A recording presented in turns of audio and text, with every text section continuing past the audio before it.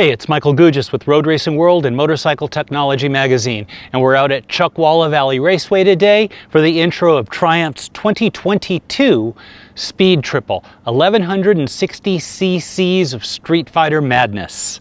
Um, Triumph has comprehensively redesigned the bike this year. It's lighter, it's faster, and it's more sophisticated. So, um, we spent the morning running uh, running around uh, the track and it was wonderful. It's there's nothing better in life in terms of motorcycling than having an empty racetrack basically to yourself. It's just glorious. Now the racetrack is not the environment that the Speed Triple is designed for, but it works really, really well here, and it allows us to really explore and enjoy some of its um, strengths. The focus of any Street Fighter really is the engine.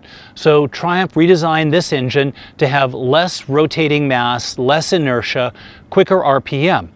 A big bore Street Fighter lives and dies on its mid-range torque.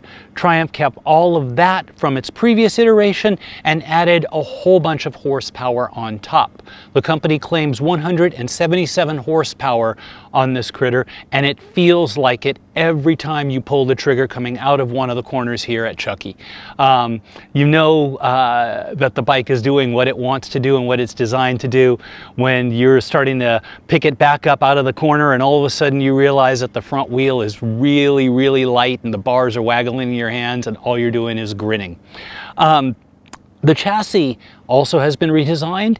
It's also really impressive, again, understanding that it's designed as a street fighter and is you know supposed to be perfectly capable in sitting upright street riding environments. The chassis is stiff, um, feels really, really stable mid-corner.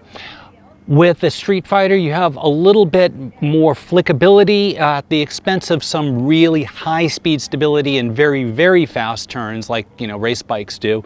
Um, but this bike still flicked into a corner really well. The bars are a little bit wider this year, so you have plenty of leverage.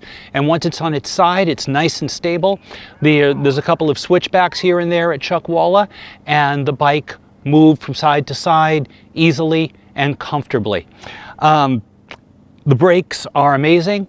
The electronics are really, really unobtrusive and very sophisticated as well.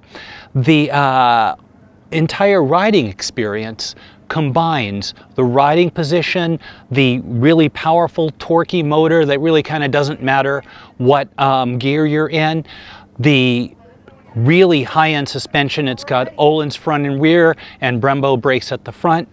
Allows you to just turn lap after lap, going faster and faster with relative ease, relative comfort, and more and more and more speed. For a more comprehensive review, take a look at an upcoming issue of Road Racing World and Motorcycle Technology. I'll tell you this though, I only quit riding this bike today when they threw the checkered flag at me. My name is Michael Gougis and I'm with Road Racing World and Motorcycle Technology. Thanks for watching.